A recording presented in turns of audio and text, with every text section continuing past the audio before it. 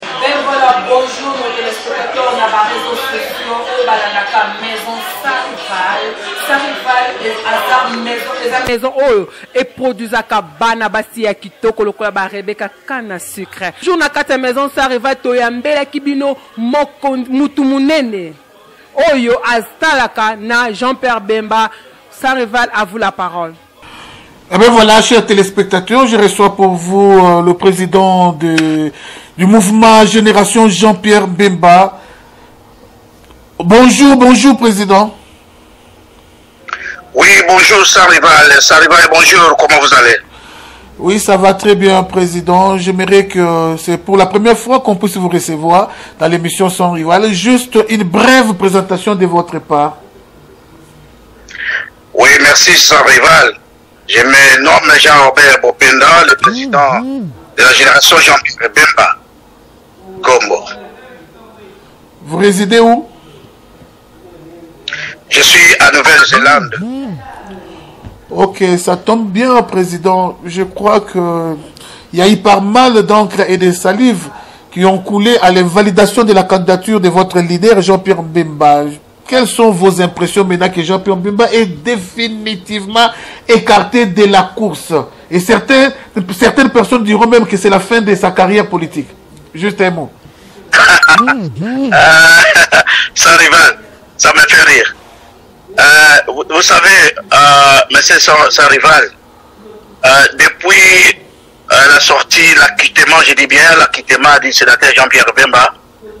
les pouvoirs de Kinshasa sont devenus comme des, fous, sont devenus malades. Parce qu'ils savent très bien que Jean-Pierre Bemba, c'est un poids et puis, euh, pour revenir à votre question, les informations à notre possession, la candidature du président Jean-Pierre Bemba devait être rejetée à tout prix par la CENI Et la Cour constitutionnelle,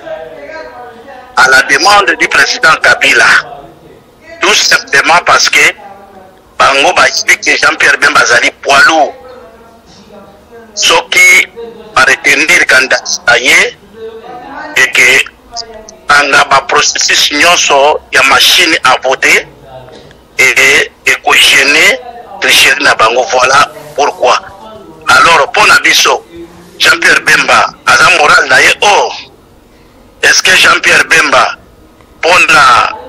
euh, justice oyo eza dirige na kabili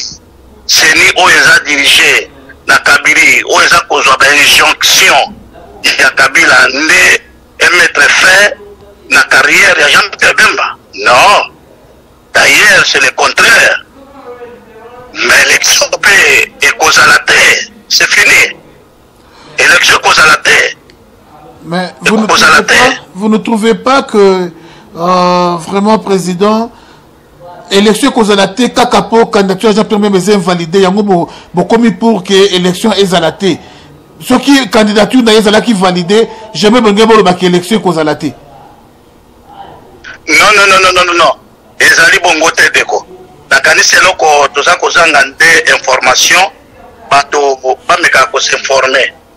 Oyebi depuis president na biso Jean Pierre Bemba azalaki na na laye azalaki toujours ko prôner pour la unité de l'opposition. Pourquoi? Parce que ayebi que na système d'occupation oyo toza na yango d'abord eh, ba élection ezali voie moko mm. malamu mm. mais lokola mboka ezali pays eza euh, na pouvoir d'occupation esengeli malamu tozala tosala unité d'opposition donc biso nyonso baopposant les vrais opposants congolais tose réunir autour d'une même table todiscute ensemble tokende tochoisir euh, candidat moko oyo aza capable ya korelever le défi voilà pourquoi et alors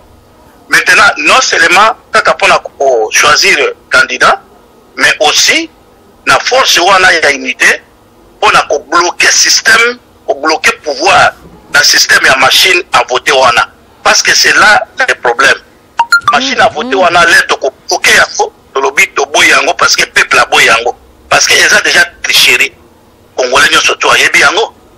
bon maintenant ntango bamoni ke unité d'opposition yango wana esali bango mpasi na bakalkile na bango na baservice na bango balobi nonono tala bato wana bazali lokola bakalueta nyoka oyo ya, ya vert akontaka bazotante bango balongoli kaka jean pierre te bango balingaki balongola na félix tshisekedi bango balingaki balongola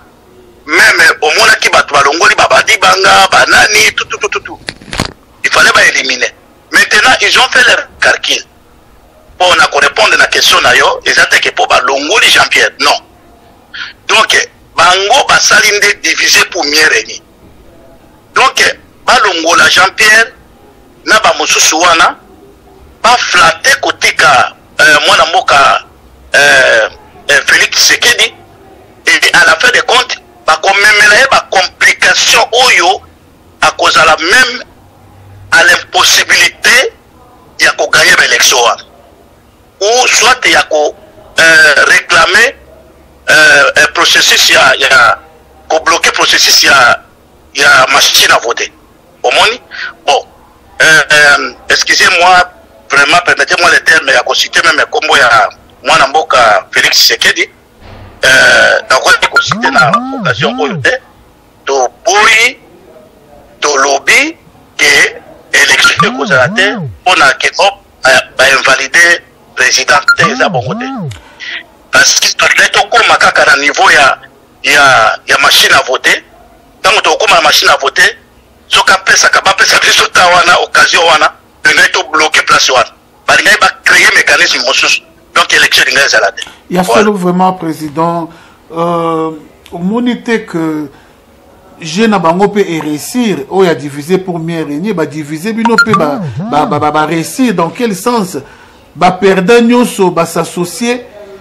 non seulement contre kabila mais contre aussi bato oyo oh, oyo baza lokola bagarnia oyo oh, baza na position ya nini ya, ya possession ya bale lokola faci candidature maintenue lokola ma, martin falu candidature maintenue alors bino mpe bosangani na moïse katumbi bosangani na muzitu alors bosali mpe force na bino quelque part bozo glisse na bapartisan na bino guerre ebandi bapartisan ba, ba, ba ya udps bitumba makasi na bapartisan ya ya ndeko jean pierre mbemba elongo na moïse katumbi et vous maintenant vous vous soutenez bomoni te ke baganie je wana ndeko wana ezali baje na bango biso toyebi bango etienne naza koinforme pour votre information félix sisekedi jean pierre bemba mozito moise katumbi badibanga e martin fayour pour preuve nayebi te soki oyebi na na, na la cour constitutionnelle esika mlc akendaki kodepose uh, recours ya président ya candidature ya président oyo barejetaki na na cpi nayebi te soki yo omonaki présence ya martin fayulu kuna te peut-être par oubli donc tozali ensemble bango nyonso bazali ensemble le problème c'est quoi bato oyo bazali koluka ke baoppose baopposa badivise bango toyebi bango bakolonga te parce que meme félix tshisekedi akondima te ke aza na conflit na jean pierre akondima te aza na conflit na mozito akondima te azala compris na moise katumbi d'ailleurs vous ne connaissez même pas les relations oyo Katumbi aza na euh, Felix les ont dit ils vont tout faire mais bakoresir te on est ensemble toyebi eloko nini oyo euh, tokosala et puis ye abise na bato na ye na seni na cour constitutionnelle toyebi esika nini bakoleka te wana ngai nazo confirme yo ke toko bloquer bango na ba mecanisme nyonso na ba système nyonso oyo bango ba pe bango moko bayebi ke baza déjà na fin ya pouvoir na bango ya solo vraiment euh, mwana mboka yambo na kotika yo tolobi euh, Jean-Pierre Mbemba candidature invalidée. Yo olobi awa que Jean-Pierre Mbemba ngai ko coincer masolo ya machine à voter. Mais tango balongaki ye na tricherie na 2006 ye na manduki ebele na force oyo aza nango lelo te mais il avait accepté l'inacceptable wana machine à voter ezalaki te papa na ngai ndeko na ngai oyebi jean pierre bemba wana ozali komona alingi peuple congolais mingi yo sans rival oyebi yango oyebi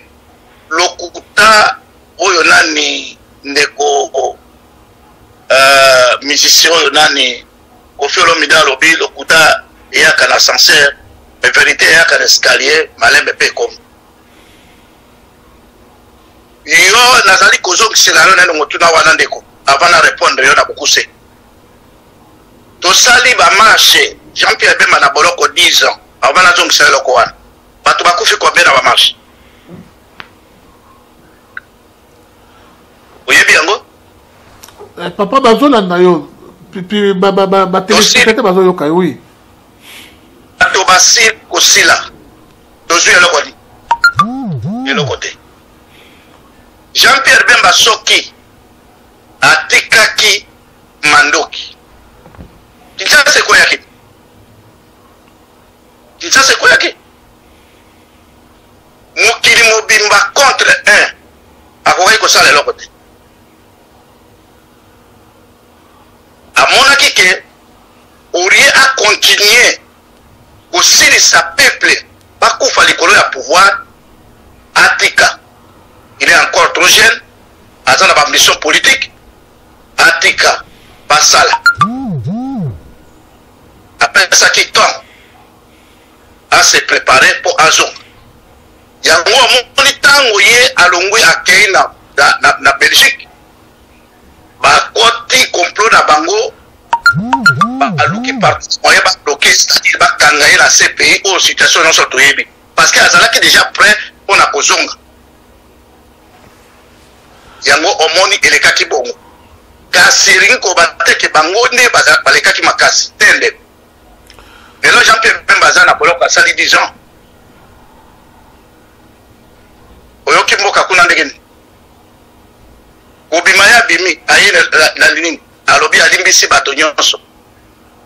apardone bango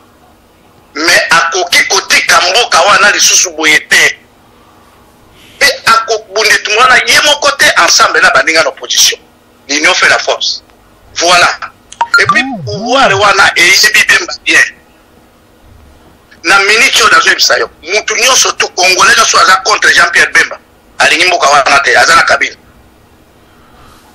ya solo vraiment congolais nyonso alingi alingi jean pembe bate aza na kabila sikoyo plan b na bino ezali nini mai nake la candidature est invalidé silence ya jean pierre mbemba annonce quelque chose parce que jean pierre mbemba depuis tout ce temps mlc a été accusé parti politique ya batraitre tomoni plusieurs fois bato ya mlc baakompagne pouvoir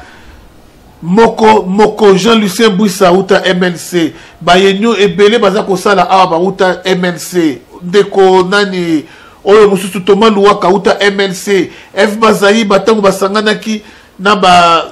papa etienne tisekedi soki bake na gauche f bazali bake na droite soki bango bake na droite f bazali bake na gauche alors nyonso wana ça, ça annonce quelque chose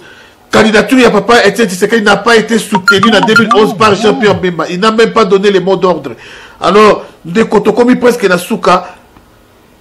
Plan B na bino eza nini? Maintenant que Jean-Pierre Bemba population eza kotalela ye, aucune réaction ya makasi.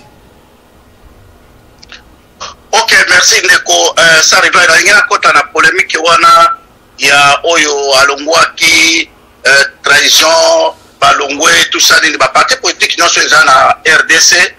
trahison ezali kaka partout esika bato bazali trahison ezalaka kaka nangi nakota na polemike wana te mpo yo moko oyebi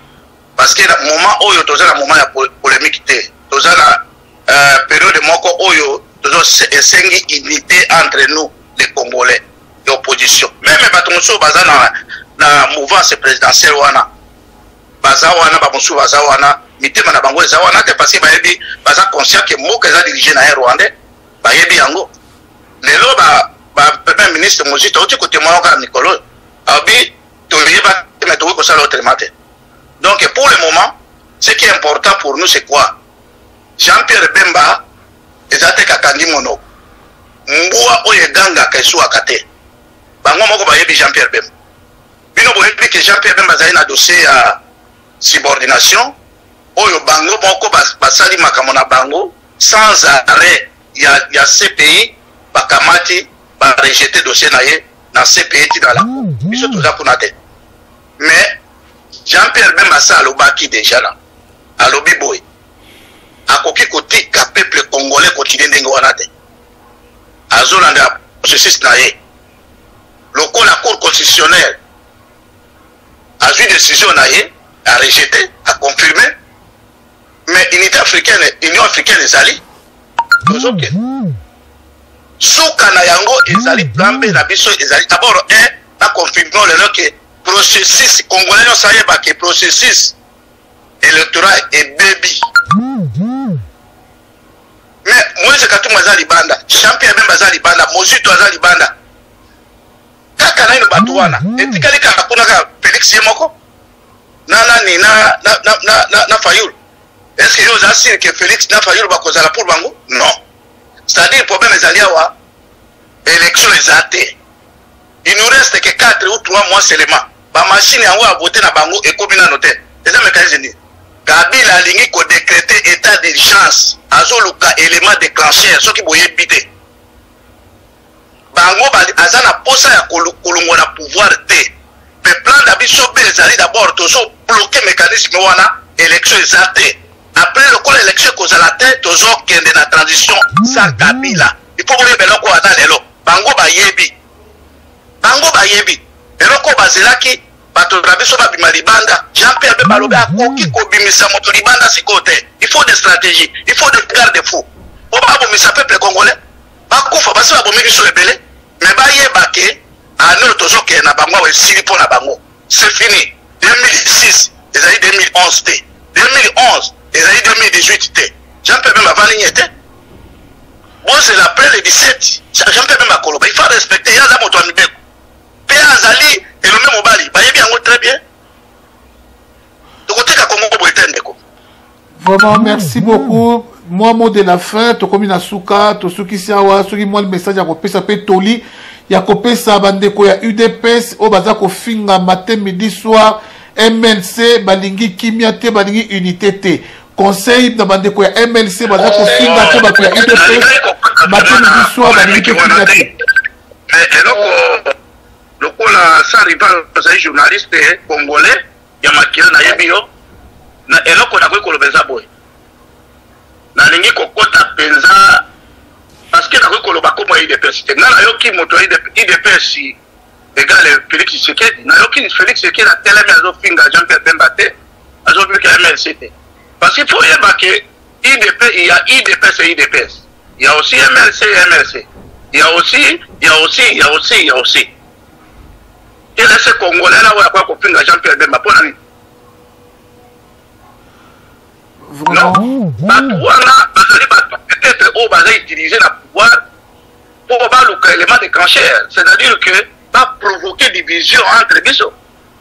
biso tokokota na badistraction wana te soki donc cible na biso eza kabila na systeme na ye bon soki okoki koexplike nga na bandeko na biso bakongole oyo bazolanda biso awa division ou soit conflit ya idps na mlc ekoprofite na bana na ah, bango eza na biso te ah, alors ah. ngai namoni moto moko te ya idps oyo afingi euh, jean pierre bemba moto ya idps ngai nakoki moto azo engage idps eza félix tshisekedi Mais jusque là, est-ce que yo so yo ki Félix était na penge penge? Eloko kote? Alors, ngai na kende na babiloko ya sese kuna, babiloko ya mike mike bandakala o balobi boye. Non, biso toza na temps wana ya badistraction te ndeko. Mboka eza na kata. Mboka eza ya kotekama. Alors, soki torate occasion oyo, esili, ah, ekozala 4 fois oyo tomonaki mpasi moke ndeko eske yo oyebi ke bacongolais bayokanga malamu badiplome de to ezobima mikolo na congo meme mwana aza na ba quatrième humanité asali kaka autodidacte apesi 100 dollar azwi baekole nyonso ekomaka 100 100 soki oza na mbongo okei okay. mwana akende na ekole na, na université aokoka meme pas ayebi meme pas kokoma ndeko ya dégradé de licencié pesa ye papier na biki zero ndeko bato wana baye kodétruire biso toute une génération mboka ekufi toza na besoin na babiloko wana badivision te edede ndeko na ngai biloko oyo ebimi kuna bana ya ba 15 ans ba 14 ans bapapa wana ya baboza na bapajelo na bango ya mituka na bango mbongo oyo bazoyiba ya makila wana bakomi kodetruire generation mobimba ya bana ya bajeune fille na biso wana ekomi oka ba systeme ekoma kuna o baujana o barine est ce que ntango ozalaki na periode ya mobutu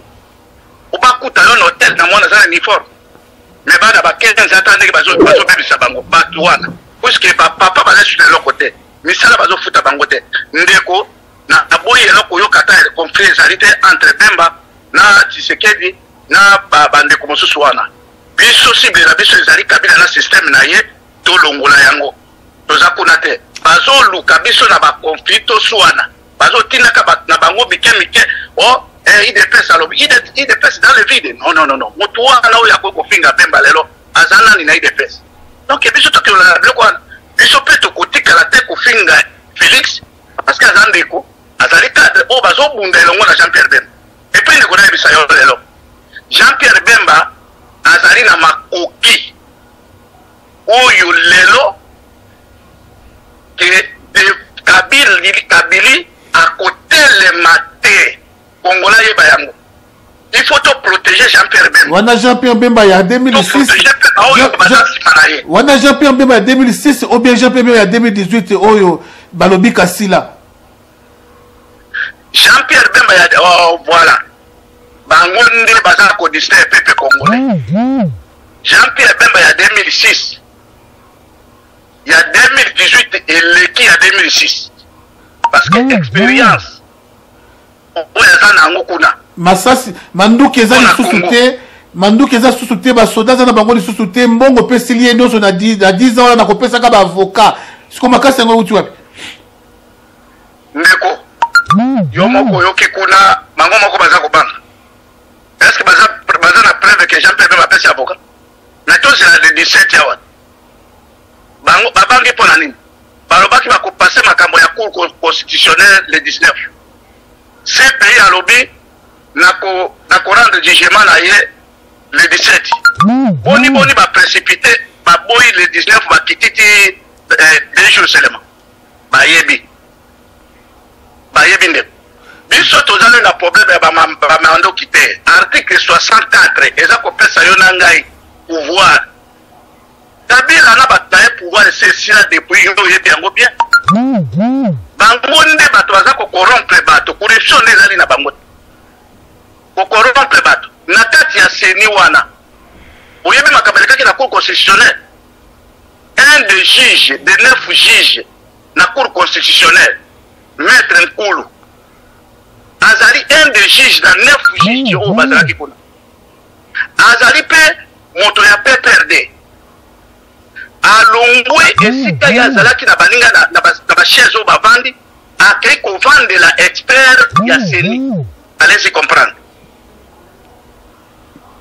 en tout cas vraiment ezali ba injonction bapesaki bato wana bazofuta bango malamu te ce n'est même pas de leur faute soki ameki bakangi ye babomi ye il ne blague pas donc eh, biso bato ya ndenge wana tokolanda jean pierre bemba aza na corruption te oyo asalaki bango bayebi yango très bien jean pierre bemba me boyebi ntango azalaki vice président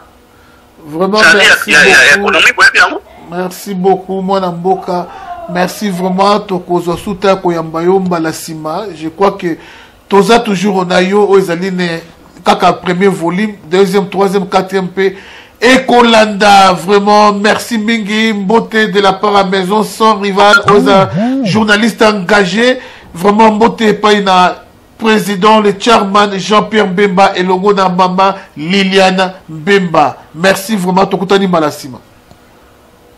OK, merci mingi. Ça va.